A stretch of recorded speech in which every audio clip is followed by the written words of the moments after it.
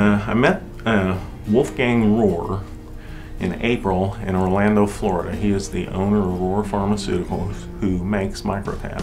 Uh, he has figured out a way to give a person nutraceuticals, vitamins, and herbs that are almost 90 to 100% absorbed into the body. Microtabs are kind of like dipping dots, only they're not ice cream.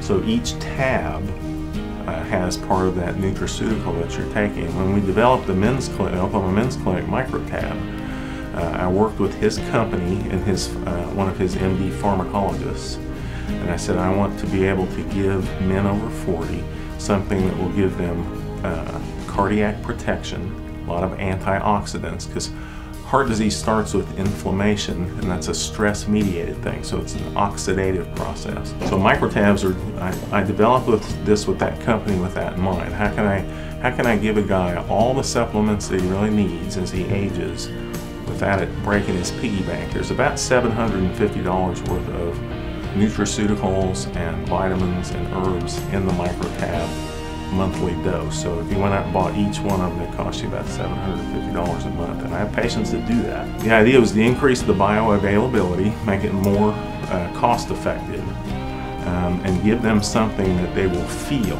as they take it.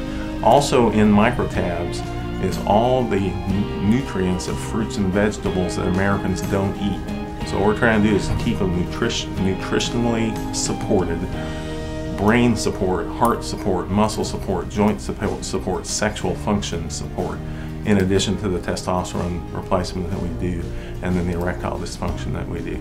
So the idea is to get a guy that you know that feels like he's 35 to 40 years old and performs like a 25 to 30 year old man.